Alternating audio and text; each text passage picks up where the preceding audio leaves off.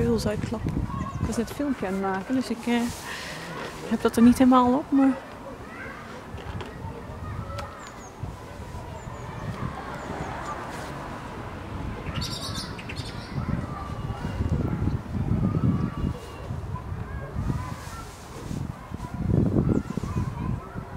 Je net gemist. Dat soort dingen, dan gaat het echt net fout.